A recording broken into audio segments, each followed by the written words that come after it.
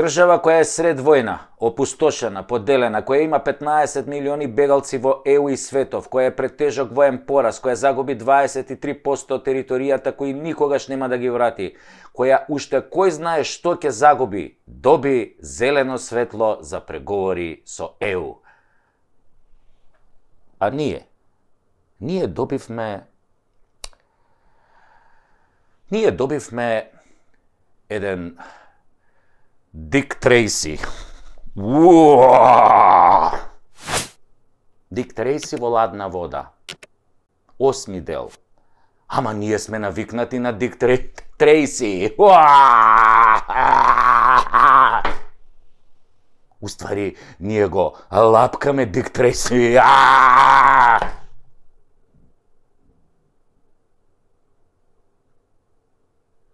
Си го лапкаме Дик Трейси Трајси. Европа. Ни го начука Дик Дик Трейси до крај. Немиен. Кој знае по кој пат. И така, СДС кој што смени име на државата, кој што договара со Бугарија по бугарчување на македонскиот јазик и историја. Дик Трейси договара промена на име на јазик само за влез во ЕУ. Беа во Брисел, се вратија со купус кисел, Па добро, сега не баш што се вика со празни раце, баба ми викаше кој ќе си га бара, тој ќе си га најде. Се вратија со еден поголем компир, очите да ти истечат колку е голем. Многу е гол. Не требаше да спомнам Биг Трейси или не беше компир? Абе, битно на... Дик... О, битно на К беше. А ебика, стариве знаја многу животни мудрости. Нараво учение, не е опозицијата виновна. Таче, туку работата е во тоа што предавниците никој не ги почитува баш заради тоа што се спремни на секое предаство за да остварат цел и да останат на власт. Предавникот на крај е секогаш презрен од неговите работодавачи. Чурко една американска! Така ти тепам, од мило ти га да викам вака. Повелем срам и дебакал од овој не можевме да доживееме. Таче после ова треба веднаш да си дадеш оставка. Ама нема да дадеш. Ти не знаеш што е морал и доблес. Ти всушност не си ни политичар, не си бил во кампања, не си имал програма, ти си клон на Заев. Дик Трейси! Тоа е таа струмичко-кумановска врска. Тоа е еба мамата на Македонија, селјаци и селјоци, ама за испомпување пари од државата сте цареви, посебно со косовариве у тандем и за правење на голема држава, ама не наша автопат кон Албанија, милиарда и 300, и тунел кон Косово, 200 милиона. Трансферзала криминала. Или трансферзала голема Албанија без Македонија. Пардон, северна.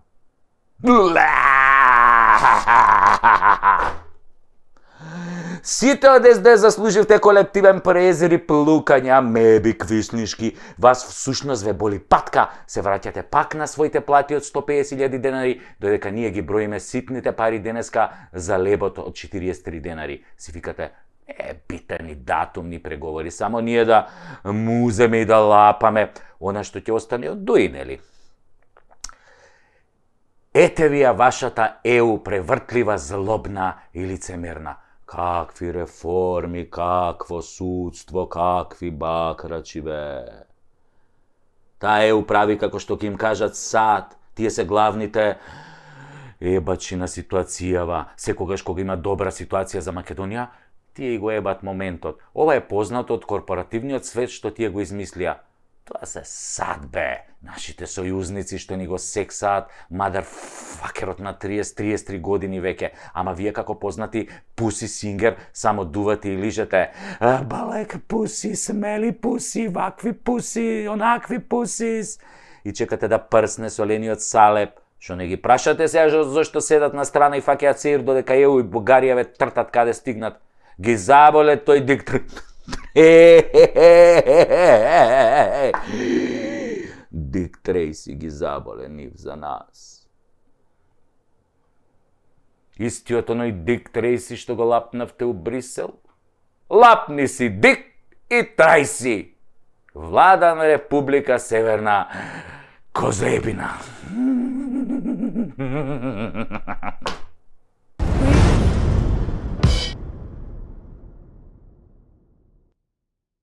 Тирарарам, парарарам, парарарарарарарарарам, рам пам пам пам пам пам пам пам пам пам пам пам. Пам пам пам. Лап лап лап, машки стап. Лап лап лап лап лап лап лап. Лап лап лап лап лап лап лап лап лап лап лап лап машки стап. Хм, Удба мора да работи 24 часа. Денеска нема да ви правам воведи, нема да кажувам алегории, нема да бидам сатиричен, нема да правам шеги на име на власта, нема да ја споменувам опозицијата. Денес ќе дадам еден епохален предлог. Ке го образложам само со една реченица, пред да ве повикам да ме поддржите и заедно да го направиме голема народна акција која уште еднаш ќе покаже дека македонецот не е само колнач, туку патриот свој на своето кој безусловно си ја сака собствената земја. Барем ние што останавме, што си ја сакаме Македонија, покрај символите, кои што ги има една земја и кои се национални, ја требаше да бидат и државни, како жолтиот лаф и сонцето од Кутлеш, секоја нација има личност која ги поставила основите на националната кауза. Кога веќе во еден друг клип зборувавме дека сите народи околу нас и око се се повеќе се плашат од нас поради синдромот Александар, сепак ние мораме од стотиците македонски дејци низ историјата да го одбереме најзначајниот. Од овие предавнициве, после Ацо што му е растудирала империјата, никој не заслужува да биде спомнат. Исто како некои денешни партеници, например. Самуил е... Окей. Ама некако тажна му е приказнала. 14.000 ослепени кои ден денес креираат слепци и кусогледи едноставно не одговараат на македонскиот лик за нацијата. Потоа се ликови како Карпош, го наденале на кол. Добро се. Многу дејци, други револуционери, борци за слобода, од кои мнозинството не дочекале старост, но и тие биле епизодисти во македонскиот од од пеколо до создавање држава.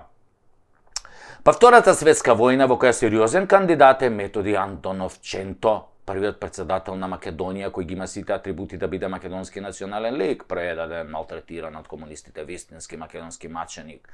Од овие новиве некој ќе рече Тито или Киро? Тито. Киро. Тито не е македонец. А ние не сме кој некои соседни народи, националните херои да ги земаме и да ни ги ставаат со кралска уредба. Кога било време да ни го стават, не ни го ставале. А сега фала, некои други се обидуваат да ни го стават, па сами ќе се избереме. Еве вака, со патриотска иницијатива. Киро едно време беше окей лик, веројатно заслугите за немање војна во Македонија и непродавање на македонските национални интереси му се огромни. Дури атентат му направија поради тоа, но сепак мислам дека ќе го држи второто високо место со Ченто. Потоа само Борис Трајковски така да го споменеш и толку. Ако ги земеме овие новиве од осамостојувањето, констатацијата ќе биде во стилот на големиот Горан Стефановски.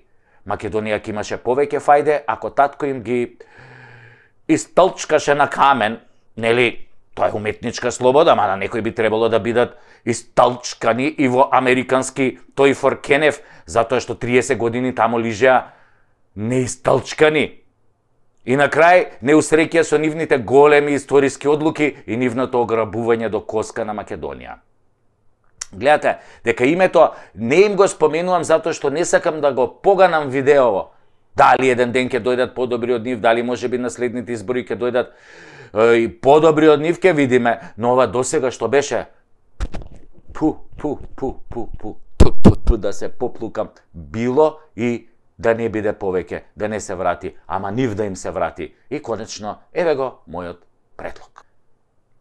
Јас, Сашо Тасевски, предлагам од овој момент секоја македонска куќа, секоја фирма, секоја сала, секој објект во земјава и ширум планетава на централниот зид да закачи слика од нашиот еден единствен Гоце Делчев.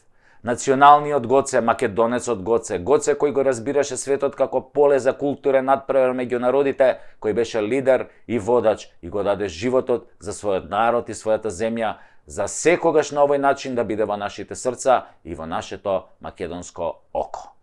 Сликата на Гоце да биде за секој од нас, да ни дава сила и храброст, мудрост и истреност и верба дека Македонија ќе ја има и да не подсетува на неговата голема мисла. Јас не сум видел народ кој има повеќе предавници од македонскиот. Затоа Гоце треба да биде на сите мајци реквизити знамиња на македонската фаланга, Гоце да биде на секој освежувач во автомобил, Гоце да биде во името на нашите кафулиња, нашите производи, на нашето секојдневие. Ни го зема името Македонија, ни го зема поимот македонски, да не дадеме да ни го земат и Гоце Делчев затоа што тој е наш, а тие сакаат се што е наше затоа што најдобро така ќе не снема. Е, нема, има да не има. Јас почнувам прв, Гоце ќе стои тука и во срцето за секогаш. Ајде, македонски народе, за какви идеи си ти, да го ставиме Гоце во нашите мисли, душе и срце на нашите гради и секој зид нека го краси сликата на Гоце. Излези, момче, право на тераса, I pozdravi ja god se vatarasa, krene terace visoko gore, naše kebide i solunska pole. Aj, aj, aj, aj, aj, aj, aj, Kakao! Lap, lap, lap, maški stap. Daba, daba, daba, daba, daba, daba, dab. Lap, lap, lap, lap, lap, lap, lap, lap, lap, lap, lap, lap, maški stap.